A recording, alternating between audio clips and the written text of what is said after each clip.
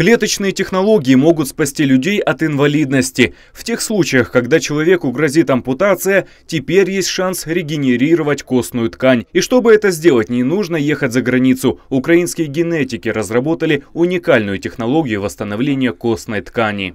Проект биотехреабилитация раненых – это, простыми словами, выращивание костей, которые были отстреляны в результате минно-взрывных э, либо осколочных ранений. 35 человек за год. Средняя стоимость лечения мы считали в районе 220-240 тысяч гривен, то есть это на сегодняшний день где-то 10 тысяч долларов.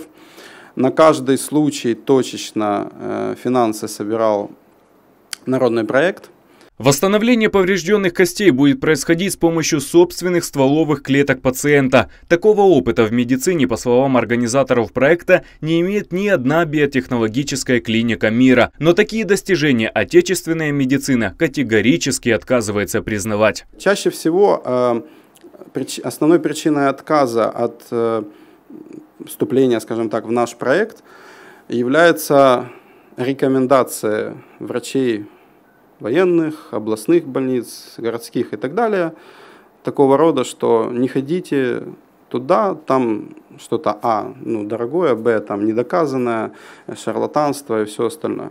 Вот это основная причина. Мы говорим, никаких денег от вас не нужно, мы сами собираем деньги, мы сами нашли э, партнеров, которые готовы это делать, просто дайте нам бойцов.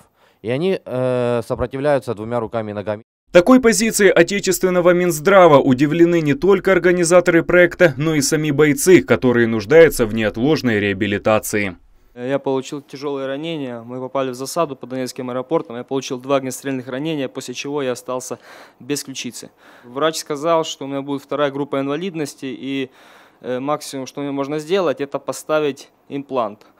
Э, но вовремя мои сослуживцы э, посоветовали мне вот этот народный проект Илая, э, где выращивают кость. Через два с половиной месяца после заключительной операции э, я уже мог э, действительно подтягиваться на, на турнике.